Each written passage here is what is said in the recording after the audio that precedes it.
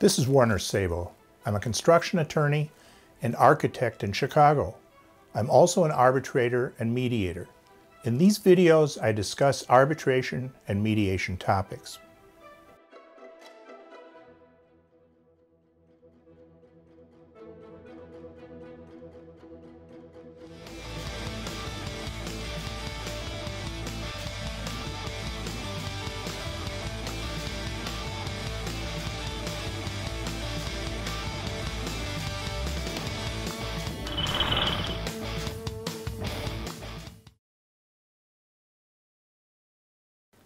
Now, an important issue in arbitrations, especially for the parties, is the type of award that they're going to see at the conclusion of the arbitration. And typically, this is something that should be discussed right at the very first conference call between the arbitrator and the attorneys for the parties once that arbitrator is appointed. Uh, now, this can be revisited later on, but at least some sort of understanding should be reached at the outset of, of this process. Now, there's three basic types of awards in arbitration. First, there's the, the standard award. This is something that uh, we used to see in the old days, and basically it's a very short form of award which says party A gets X dollars and and that's pretty much it. So it's a couple of lines. There's a winner, there's a loser, there's an amount, uh, and that's it. And the, the thinking behind it was that the less you said, the less vulnerable that award is to any sort of uh, judicial intervention later on. Uh, practically nobody uses that type of award anymore. The the associations, such as the American Arbitration Association, uh, discourages that. So the second type of award is the, is the much more common, the, the reasoned award. And what that is, is a, a breakdown of the, the claims and the, some basic reasons behind the, uh, the award for each of those claims. So in a typical arbitration uh, involving construction, you're going to have uh, a series of discrete claims, such as uh, the roof leaks, the windows leak, uh, there's this problem with the paint, and, and so forth. And so each of these elements of a construction claim are going to be uh, have their own set of damages and their own set of proofs and, and so forth. And so a reasoned award then will go through each individual item and uh, provide a, uh, an award for the roof, for instance. Uh, the arbitrator may decide that the, the window leak, uh, if there is a window leak, was actually a design defect caused by the architect and not the contractor. So the owner's not going to get an award against the contractor for that item. And hopefully this will be uh, explained to some degree in the reasoned award. And at, at, the end of that reasoned award, there's a, a dollar figure that uh, is you get to by adding up all the, the pieces that you've had uh, before that. And the final, and by far the most expensive and complicated, type of award is findings of fact and conclusions of law. Now, this is something that you would expect to see in court. A court case often results in a judgment that contains findings of fact and conclusions of law. And, there, and there's reasons for that. The, the judge uh, puts this together because it's there's a, a good likelihood that the party that loses this case is going to appeal that uh, that judgment.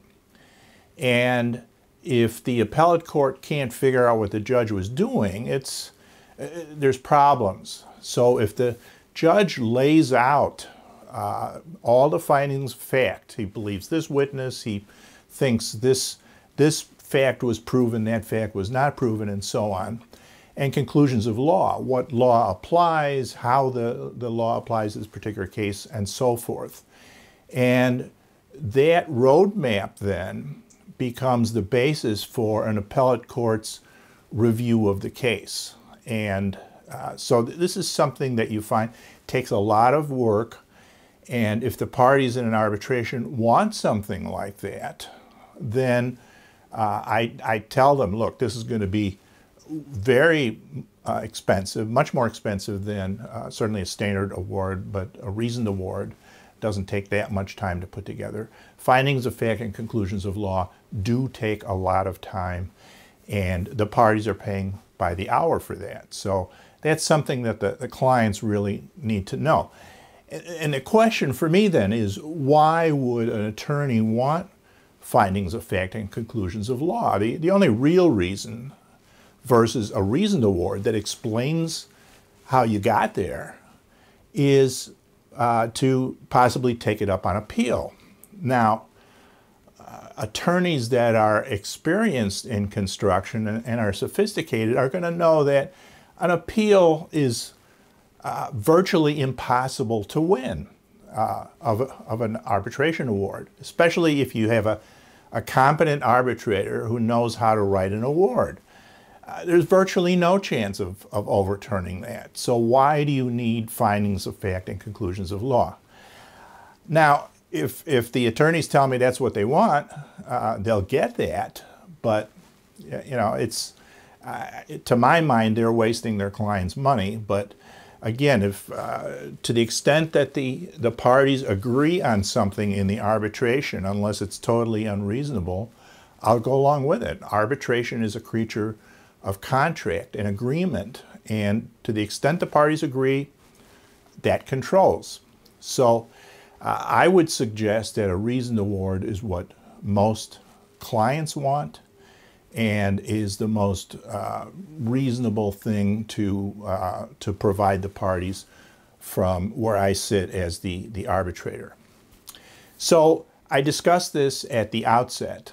And so what happens if the parties really can't agree on the type of award that they want? One party wants a standard award, another party wants a reasoned award, or, or, one of them wants findings of fact and conclusions of law, and, and so forth. And they, they simply can't agree.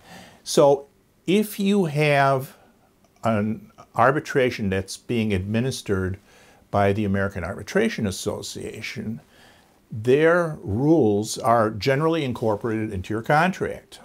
And I believe some of the other form contracts will uh, incorporate the rules of whatever other association you're using. And so, uh, as an example, the, the AAA, their rules say that in the event that there's no other agreement, the arbitrator shall provide a concise written financial breakdown of, of any monetary award unless waived by agreement.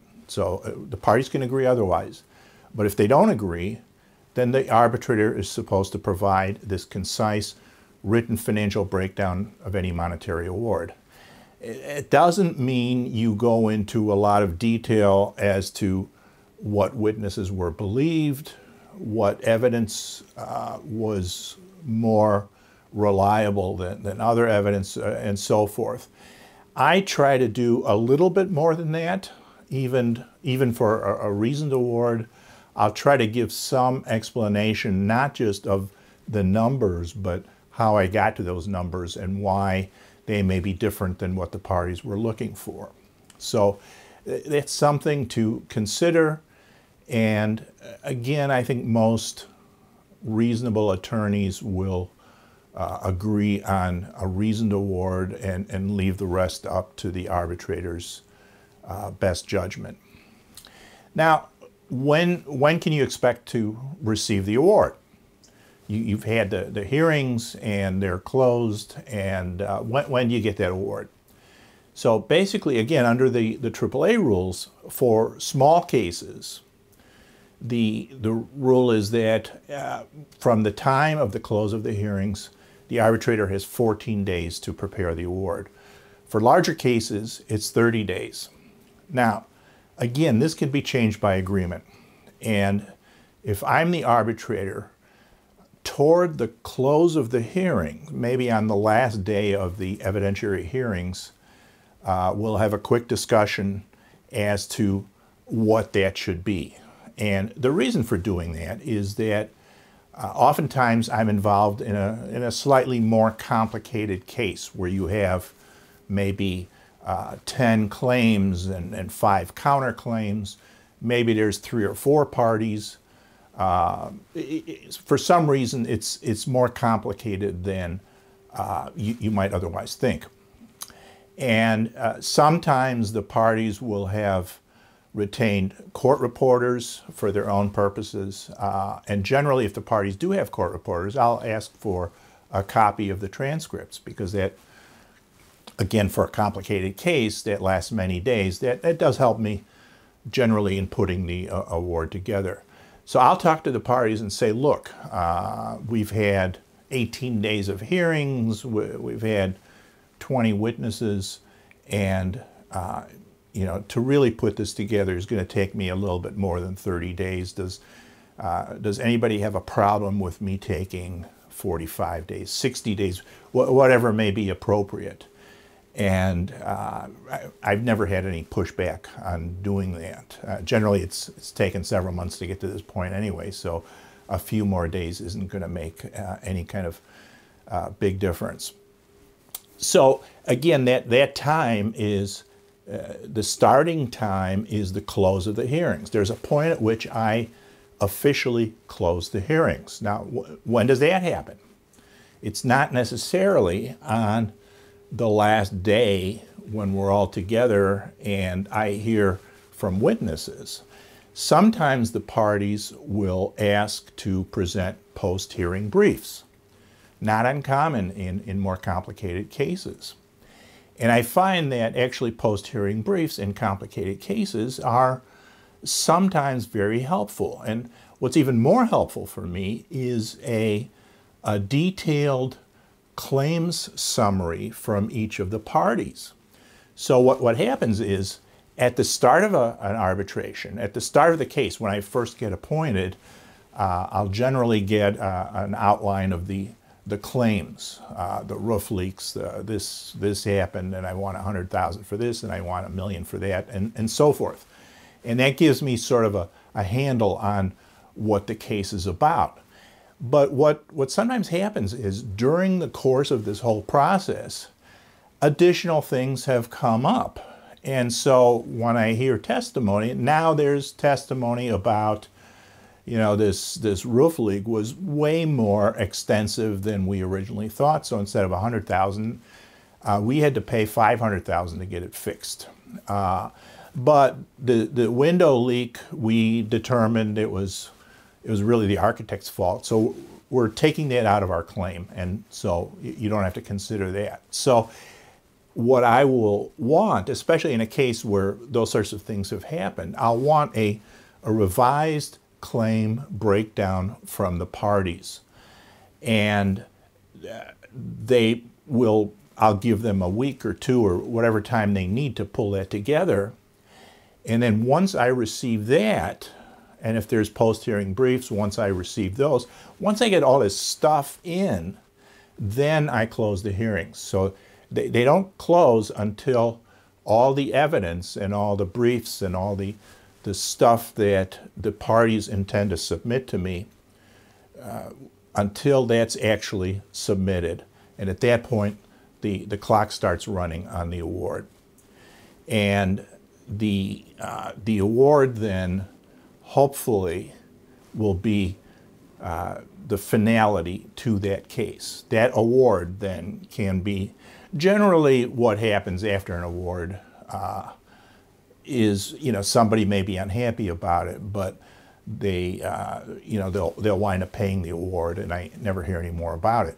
Occasionally, the award is challenged. Uh, I've never had an award actually overturned by a court, uh, so you know the parties are again I think are wasting their time doing that. But um, the the case, for all intents and purposes, is is over at that point, and hopefully the, the parties can go about their lives